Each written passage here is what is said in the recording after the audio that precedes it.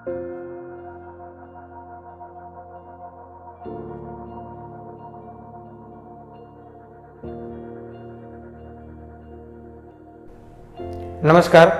મંગલ મૂર્તિ વિદ્યા મંદિરની યુટ્યુબ ચેનલમાં આપનું સ્વાગત છે. આપણે અભ્યાસ કરી રહ્યા છીએ ધોરણ દસમાં, પાઠ સોળ નૈસર્ગિક સ્ત્રોતોનું ટકાઉ પ્રબંધન. અને એમાં આપણે છેલ્લે પાણી એક નૈસર્ગિક સ્ત્રોત તરીકે કઈ રીતે ઉપયોગી છે, આપણે કઈ કઈ રીતે એનો ઉપયોગ કરીએ છીએ, ત્યારબાદ એનું સંરક્ષણ કઈ રીતે કરવું જોઈએ, બરાબર? એનો બધો અભ્યાસ કર્યો હતો એ નૈસર્ગિક સ્ત્રોત તરીકે પાણીમાં છેલ્લો મુદ્દો આપણે બાકી હતો કે પાણીનું વ્યવસ્થાપન આપણે કરીએ છીએ તો વરસાદ દ્વારા આપણને મુખ્ય સ્ત્રોત આપણે પાણીનો વરસાદ છે, આખી પૃથ્વી ઉપર. તો એ ચાર મહિના, વરસાદ સિવાયના ચાર મહિના દરમિયાન જો પાણીનો ઉપયોગ આપણે કરવો હોય, તો એને સંરક્ષણ કરવું પડે. એ કઈ કઈ રીતે સંરક્ષણ? તો કે એક તો ભૂમિની સપાટી ઉપર જ એનું સંરક્ષણ કરીએ. કે અમુક ટાંકાઓ બનાવીએ, સરોવરો બનાવીએ, બંધો બનાવીએ, ચેકડેમો બનાવીએ. તો એ સરોવર ઉપર સોરી સપાટી, જમીનની જે સપાટી છે, એના ઉપર આપણે સંરક્ષણ કર્યું એમ કહેવાય. એના સિવાય, ભૂગર્ભ જળ તરીકે આપણે પાણીનું સંરક્ષણ કરવું જોઈએ. અને એનાથી અમુક જે બેનિફિટ થાય એ આપણે જોવાના છે. તો આપણે સપાટી ઉપર જ્યારે પાણીનો છે એ સંગ્રહ કરીએ છીએ, ત્યારે આડકતરી રીતે આપણે ભૂગર્ભ જળમાં પણ એ પાણીનો સંગ્રહ કરીએ છીએ. કઈ રીતે? તો કે ચેક ડેમો બનાવ્યા અથવા તો બંધો મોટા બનાવીએ.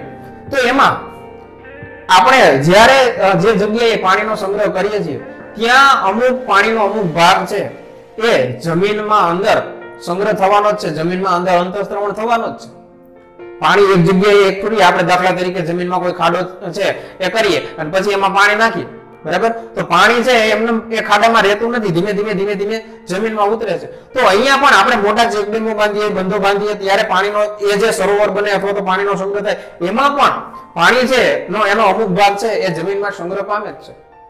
આના સિવાય પણ આપણે જોયું હતું કે પાણીનો સંગ્રહ કઈ કઈ, તો કે આપણે ઘરગથ્થુ સંગ્રહ કરવો હોય. તો આપણું જે અગાસીનું અથવા તો આપણા ઘરની અંદર જે વરસાદનું પાણી આવે છે, બરાબર? એ પાણીને છે, એ પાઇપ દ્વારા જમીનમાં ખાડો કરી, બરાબર? અને એમાં આપણે જમીનમાં ઉતારી શકીએ. એના દ્વારા, અથવા તો બોર કે કુવા છે, એમાં પણ એ પાણી ઉતારી શકીએ. તો એના દ્વારા પણ જે જમીન, આપણે જે, આપણું ઘરગથ્થુ જે પાણી છે, એનો આપણે એને આપણે ભૂગર્ભ જળ તરીકે છે, એ પછીથી ઉપયોગ કરી શકીએ. હવે જોઈએ તો આપણે સપાટી ઉપર પાણીનો સંગ્રહ કરીએ. એના કરતા આપણે ભૂગર્ભ જળ તરીકે વધારે પાણીનો સંગ્રહ કરીએ. તો એમાં સપાટી ઉપર જે પાણીનો સંગ્રહ કરીએ, એના કરતા થોડાક વધુ બેનિફિટ એટલે કે થોડાક વધારે ફાયદા મળે છે. બરાબર? જે ફાયદા મળે છે, બેયમાં સરખા. એ તો મળે જ છે. દાખલા તરીકે વરસાદની સિઝન પછીની જે સિઝન છે બરાબર પછીનો જે સમય છે, એમાં પાણીનો આપણે વપરાશ કરી શકીએ કૃષિમાં. આપણે એ પાણીનો ઉપયોગ કરી શકીએ. કારણ કે કૃષિમાં વરસાદ પછીના સમયગાળામાં જો, કૃષિમાં જો પાણી ક્યાંયથી આપણે વાપરતા હોય, તો એ માત્ર ને માત્ર ભૂગર્ભ જળ છે.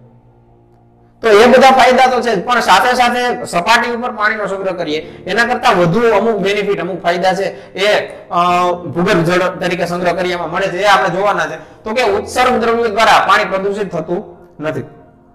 સરોવરો છે ચેકડેમો છે, તળાવો છે, એમાં માનવીય પ્રવૃત્તિઓ છે. દાખલા તરીકે મળમૂત્ર મળમૂત્રનો ત્યાગ છે, પશુઓને નવડાવવા છે, કપડાં ધોવા છે. હવે માનવીય પ્રવૃત્તિ દ્વારા ઉત્સર્ગ દ્રવ્યો છે એમાં અંદર પ્રવેશે. કારખાનાના જે રસાયણો છે એમાં પ્રવેશે. તો એના દ્વારા પાણી જે પ્રદૂષિત થાય છે, અને પછી એ સંગ્રહ કરેલું પાણી પણ ઉપયોગ આપણે કરી શકતા નથી. તો અહીંયા ભૂગર્ભ જળમાં એ ઉત્સર્ગ દ્રવ્યો દ્વારા આ પાણી પ્રદૂષિત થતું નથી. કારણ કે મળમૂત્ર છે, બરાબર? અથવા તો પશુઓને નવડાવવા દ્વારા જે પ્રદૂષણ એમાં થાય એ પ્રદૂષણ પાણી જમીનમાં ઉતરી ગયા પછી થવાનું નથી. તો એ ઉત્સર્ગ દ્રવ્યોનું પ્રદૂષણ છે, એ ઘટે. બાષ્પીભવન ન થાય. સપાટી ઉપર પાણી આપણે રાખવાના છીએ સરોવર સ્વરૂપે અથવા તો બંધો સ્વરૂપે અથવા તો બંધ દ્વારા જે સરોવર નિર્માણ પામ્યું તો સૂર્યની ગરમી દ્વારા પાણી છે, એની ઉપરની સપાટી ગરમ થાય અને ઉપરનું પાણી છે ધીમે ધીમે બાષ્પીભવન થાય અને વાતાવરણમાં ઉડે. પણ જમીનમાં ભૂગર્ભ જળ તરીકે જો આ પાણી સંગ્રહ પામે, એ જમીનમાં ઉતરી ગયેલું પાણી છે, એનું બાષ્પીભવન થતું નથી. એટલે જેટલું પાણી છે એ જમીનમાં ઉતરશે, એટલું સંપૂર્ણ પાણી છે એ ફરીથી એનો આપણે ઉપયોગ કરી શકશું. એ બાષ્પ સ્વરૂપે ઉડી જશે નહીં. ત્યારબાદ મોટા વિસ્તારમાં ભેજ જળવાય. પાણી છે એ જમીનમાં ઉતરે એટલે મોટા વિસ્તારમાં ફેલાય અને જ્યાં સંગ્રહ પામે છે, જ્યાં એનું અંતઃસ્ત્રવણ થાય છે, એ સિવાયના વિસ્તારમાં પણ એનો ભેજ જળવાઈ રહે. પરિણામે શું થાય? તો કે વનસ્પતિઓ છે, વૃક્ષો છે, એને જમીનમાં યોગ્ય ભેજ મળી રહે. અને વનસ્પતિ છે, એ પોતાનું જીવન લાંબુ કરી શકે, પોતે વધુ સમય સુધી ટકી શકે. એટલે ભૂમિનો ભેજ છે, એ યોગ્ય રીતે જળવાય. ભૂમિ છે એ સૂકી ન બને. ત્યારબાદ મચ્છર જેવા કીટકોની સમસ્યા ઘટે. હવે બંધિયાર પાણી છે, એમાં આપણને ખબર છે, મચ્છરો છે કે અમુક જે કીટકો છે, એ પ્રજનન પોતાની પ્રજનન ક્ષમતા દ્વારા વધારે પ્રમાણમાં મચ્છરો છે અથવા તો વધારે પ્રમાણમાં પોતાના બચ્ચા છે અથવા તો એ કીટકો છે, એને જન્મ આપે અને એ કીટકોનું પ્રમાણ વધે. કારણ કે પાણી ખુલ્લું છે, બંધિયાર છે, વહેતું નથી. પણ જ્યારે આ પાણી જમીનમાં ઉતરી જાય, ત્યારે જમીનમાં એને જમીનમાં એ પોતાની પ્રજનન ક્ષમતા છે દર્શાવી શકતા નથી, કારણ કે જમીનની અંદર એને પ્રકાશ મળતો નથી. જ્યારે બહાર સપાટી ઉપર છે, ત્યારે તેને બધી વસ્તુ મળે છે. પાણીમાં તો પોતે છે, હવા મળી રહે છે, સૂર્યપ્રકાશ મળી રહે છે. એટલે પોતાની પ્રજનન ક્ષમતા ત્યાં વધારી અને વધારે પ્રમાણમાં મચ્છરો છે, એનો ઉપદ્રવ વધારી શકે. મચ્છરો છે, એની સંખ્યા વધી શકે. તો આવી આવી બધી સમજ જે ફાયદાઓ છે. એના કારણે ભૂગર્ભ જળ તરીકે પાણીનો સંગ્રહ કરવો છે. એ વધારે ફાયદાકારક છે, વધારે ઉપયોગ કરવા લાયક છે. અને ઘણી બધી ભારતીય ટેકનિકો છે, જે આપણી દેશી પદ્ધતિઓ છે, એના દ્વારા આપણે પાણીનો સંગ્રહ કરીએ પણ છીએ. તો અહીંયા બધા જ માટે પાણી અથવા તો નૈસર્ગિક સ્ત્રોત તરીકે આપણે પાણીનો ઉપયોગ કઈ કઈ રીતે કરવો જોઈએ, કઈ કઈ રીતે એનો સંગ્રહ કરવો જોઈએ, કઈ કઈ રીતે એનો બચાવ કરવો જોઈએ, એ તમામ બાબતો છે, એ અહીંયા પૂરી થાય છે. હવે, ત્રીજું અને છેલ્લું પાસું, નૈસર્ગિક સ્ત્રોત તરીકે કોલસો અને પેટ્રોલિયમ.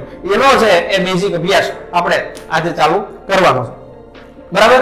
તો હાલના સમયમાં જોઈએ તો ઉદ્યોગોની અથવા તો માનવીય પ્રવૃત્તિઓ માટે ઉર્જાનો જો કોઈ મુખ્ય સ્ત્રોત હોય, ઊર્જા મેળવવા માટેનો જો મુખ્ય સ્ત્રોત હોય, તો આ બે છે, કોલસો અને પેટ્રોલિયમ. આગળના સમયમાં ઔદ્યોગિક ક્રાંતિ પછીનો જે સમયગાળો છે જેમ ઉદ્યોગોનો વધારો થયો, ઔદ્યોગિક ક્રાંતિ થઈ અને ઉદ્યોગ, ઉદ્યોગોમાં ઊર્જા તરીકે છે, એ આ કોલસો અને પેટ્રોલિયમ ધીમે ધીમે વધા- વધારે ઉપયોગ થતો ગયો. વસ્તી વધારો થયો, જીવન ધોરણ ઊંચું આવ્યું અને વસ્તી વધારો થયો. વસ્તી વધારો થયો એટલે વાહનની સંખ્યા વધી. વાહનોની સંખ્યા વધી એટલે પેટ્રોલિયમ પેદાશો છે, એનો ઉપયોગ વધ્યો. પેટ્રોલ છે, ડીઝલ છે, કેરોસીન છે, આ બધાનો ઉપયોગ વધ્યો. તો ધીમે ધીમે જેમ જેમ સમય જાય છે, એમ એમ આ બંને પદાર્થો, બંને બાબતો છે, એનો ઉપયોગ આપણે ઊર્જા મેળવવા માટે સતત ને સતત કરીએ છીએ. હવે આ ઊર્જા એમાંથી મેળવીએ છીએ, તો એમાંથી આપણને નુકસાન કઈ કઈ રીતે થાય છે? અને શું કામ આપણે એનો જરૂરિયાત પ્રમાણે જ ઉપયોગ કરવો જોઈએ જોઈએ? તો કે સજીવોના જૈવભાર આ મળે છે આપણને ક્યાંથી? કોલસો અને પેટ્રોલિયમ છે, એ આપણને પૃથ્વીના પેટાળમાંથી મળે છે આપણને ખબર છે, ખાણમાંથી કોલસા છે, એની ખાણ હોય. પેટ્રોલિયમ પેદાશો એટલે કે ખનિજ તેલની ખાણ હોય ખનિજ તેલને શુદ્ધ કરવામાં આવે, એમાંથી પેટ્રોલ ડીઝલ કેરોસીન બરાબર? ડામર આ બધું અલગ કરવામાં આવે. તો એ આપણને મળે છે જમીનની અંદર ખાણોમાંથી. પણ એ જમીનની અંદર છે, એ ક્યાંથી પહોંચ્યો? એમાં કઈ રીતે જમીનની અંદર કઈ રીતે બન્યું? તો કે સજીવોના જૈવભાર પર લાખો વર્ષો વિઘટનની પ્રક્રિયા થાય, ત્યારબાદ આપણને એ વસ્તુ મળે છે. મનુષ્યનો જૈવભાર એટલે શું? તો કે મનુષ્યો અથવા તો સજીવોના મૃત શરીરો છે, એના ઉપર હજારો વર્ષો વિઘટનની પ્રક્રિયા થાય. જમીનના દબાણ, જમીનનું તાપમાન, ભેજ, આ બધાની અસર દ્વારા લાખો વર્ષો આ પ્રક્રિયા થાય. ત્યારબાદ આપણને કોલસો અને પેટ્રોલિયમ મળે છે. કોલસો છે એ જંગલોની જે વનસ્પતિઓ છે, બરાબર? અથવા તો વૃક્ષો છે. એ અમુક ઘટનાઓ, દાખલા તરીકે ઉલ્કા વર્ષા છે અથવા તો ભૂકંપ છે આવી જે કુદરતી ઘટનાઓ છે, એના દ્વારા જમીનની અંદર સંપૂર્ણ રીતે દટાય. ત્યારબાદ એના ઉપર તાપમાન, ભેજ પછી પ્રકાશ સોરી તાપમાન છે, ભેજ છે, દબાણ છે, આ બધાની અસર થાય અને કોલસાનું નિર્માણ પામે, કોલસો નિર્માણ પામે. પણ આ પ્રક્રિયા છે એ ધીમી હોય, અતિશય ધીમી, લાખો વર્ષોની પ્રક્રિયા બાદ જ આપણને કોલસો મળી શકે. આપણે છે એ દાખલા તરીકે એક લાકડાનો ટુકડો લઈએ અને એને વર્ષ દિવસ સુધી જમીનમાં દાટી રાખીએ તો કોલસો ન બને. ત્યારબાદ પેટ્રોલિયમ પેદાશો ક્યાંથી મળે છે? તો કે સજીવોના શરીરો. વનસ્પતિ સિવાયના જે સજીવો છે વનસ્પતિ પણ સજીવ છે. પણ વનસ્પતિ સિવાયના જે સજીવો છે, પ્રાણીઓ છે. એ પ્રાણીઓના શરીરો છે, એ અમુક ઘટનાઓ, દાખલા તરીકે કોઈ ભૂકંપ છે, એમાં આખે આખું ગામ દટાઈ જાય. અથવા તો ઉલ્કા વર્ષા થાય, આપણે જોયું કે ભાઈ ડાયનોસોર છે, એ એની પ્રજાતિઓ નાશ પામી. તો કઈ રીતે? તો કે ઉલ્કા વર્ષા છે, એ થઈ અને એ ઉલ્કા વર્ષાથી એ ડાયનોસોર છે, એના, એ મૃત્યુ પામ્યા અને જમીનમાં દટાઈ ગયા. તો આ પ્રાણીઓના શરીરો છે, બરાબર? વનસ્પતિ સિવાયના જે સજીવો છે, પ્રાણીઓ, એના શરીર છે, એ જમીનમાં દટાય અને એના ઉપર તાપમાન, ભેજ, દબાણની અસર થાય. અને એના ઉપર વિઘટનની પ્રક્રિયા થાય ખૂબ લાંબા સમય સુધી. પછી આપણને પેટ્રોલિયમ પેદાશો મળે છે.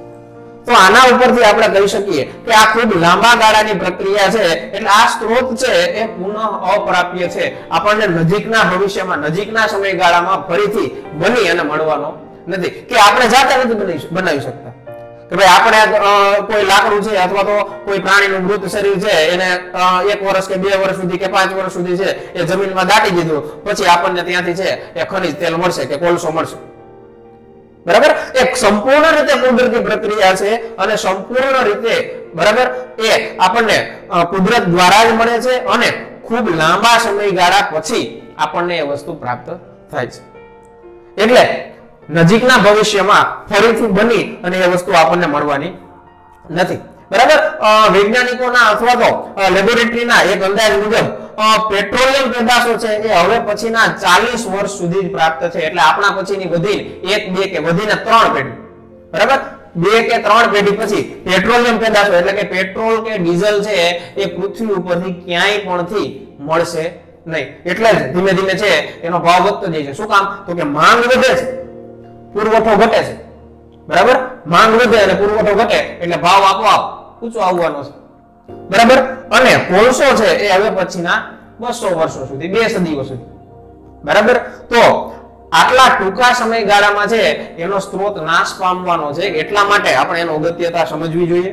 અને એને વધારેમાં વધારે આપણે એનો બચાવ કઈ રીતે કરી શકીએ, ઓછામાં ઓછો એનો ઉપયોગ કઈ રીતે કરી શકીએ, એવી ટેકનિકો વિકસાવી જોઈએ, એવી પદ્ધતિઓ વિકસાવી જોઈએ, અથવા તો એ રીતે એનો ઉપયોગ કરતા. હવે આપણે ટેવાવું જોઈએ, અથવા તો હવે એ શીખવું પડશે. તો ચાલીસ તો કદાચ ચાલીસ વર્ષ છે, એનાથી થોડા વધારે સમયગાળા સુધી આપણે એનો ઉપયોગ છે એ કરી શકીએ. આપણી આવનારી પેઢીઓ છે એનો ઉપયોગ કરીશું બરાબર? તો આ અંદાજ છે એના ઉપરથી આપણે જોઈ શકીએ કે એનો પુરવઠો છે એ હવે આપણા માટે ખૂબ જ ઓછો છે. ત્યારબાદ હવે માત્ર શું પુરવઠો ઓછો છે એટલે જ આપણે એનો સંગ્રહ કરવો જોઈએ અથવા તો એટલે જ એનો બચાવ કરવો જોઈએ? ના. એક બીજી પણ સમસ્યા છે. કઈ? તો કે પર્યાવરણીય સમસ્યા. શું? પર્યાવરણીય સમસ્યા. તો કે આ જે તત્વો છે, આ જે પદાર્થો છે, એ જૈવ ભારમાંથી બનેલા છે. સજીવોના જૈવિક જૈવિક જે શરીરો છે, એના ઉપર વિઘટન પ્રક્રિયા થઈ અને પછી મળ્યા છે. એટલે એ કાર્બન, હાઇડ્રોજન, નાઇટ્રોજન, સલ્ફર આવા તત્વોથી ભરપૂર હશે. બરાબર? આમાં જે કોલસો કે કોલસો કે પેટ્રોલિયમ છે, એમાં આવા તત્વો, કાર્બન છે, નાઇટ્રોજન છે, સલ્ફર છે, આવા તત્વો છે, એ બહુ વધુ પ્રમાણમાં હાજર હશે. પરિણામે આપણે એનું દહન કરશું. એમાંથી ઊર્જા મેળવશું ત્યારે એનું દહન કરશું અથવા તેને બાળશું ત્યારે એમાંથી કાર્બન ડાયોક્સાઇડ છે, સલ્ફર ડાયોક્સાઇડ છે કાર્બન મોનોક્સાઇડ છે, નાઇટ્રોજન ડાયોક્સાઇડ છે. બરાબર? આવા બધા વાયુઓ છે, જે ગ્રીન હાઉસ વાયુઓ છે તે ઉત્પન્ન થશે. અને એ વાતાવરણમાં ભળશે અને ગ્રીન હાઉસની સમસ્યા પેદા કરશે, વૈશ્વિક તાપમાનમાં વધારો કરશે. વાતાવરણમાં જે વાયુ છે, એની જે માત્રા છે એ ખોરવી નાખશે. ગ્રીન હાઉસ અથવા તો પ્રદૂષિત વાયુઓ છે એમાં ભેળવાય.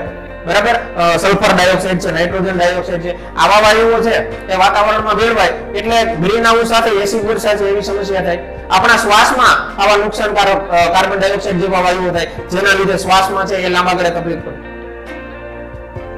તો આ બે આવી જે સમસ્યાઓ છે, એક તો એનો પુરવઠો છે, એ બહુ મર્યાદિત છે. સાથે સાથે વસ્તી વધારાને કારણે અથવા તો ઔદ્યોગિક વપરાશને કારણે એની માંગ ખૂબ વધારે છે. ત્યારબાદ, એ તો છે સાથે સાથે પર્યાવરણીય સમસ્યા પણ બહુ મોટી છે. કારણ કે એમાં, એના દહનથી જે વાયુઓ નીકળે છે ગ્રીન હાઉસ વાયુઓ, એનાથી ધીમે ધીમે તાપમાનમાં વધારો થાય છે, માનવીના શરીરો ઉપર એની અસર થાય છે. અથવા તો જે ગ્રીન હાઉસની સમસ્યા છે, એ વધે છે. ગ્લોબલ વોર્મિંગ છે, એ વધે છે, વૈશ્વિક તાપમાન વધે છે. તો આવી સમસ્યાઓને કારણે કોલસો અને પેટ્રોલિયમ છે, એનો ઉપયોગ છે, એ ઘટાડવો જોઈએ, એ બને એટલો, શક્ય તેટલો એનો ઉપયોગ ઓછો કરવો જોઈએ. બરાબર? એ બધી જ બાબતો છે, એ આપણે હવે પછીના વિડીયોમાં છે, એ જાણવાની છે. મંગલમૂર્તિ વિદ્યા મંદિરની યુટ્યુબ ચેનલ છે, એ સબસ્ક્રાઇબ કરો. જેથી આ વીડિયો છે, બધા જ વિષયના, એ તમને ટાઈમ ટુ ટાઈમ મળતા રહે. અને આ વીડિયો છે, એ તમારી આસપાસના જે ધોરણ દસના વિદ્યાર્થીઓ છે, એના દરેક સુધી પહોંચાડો. આભાર.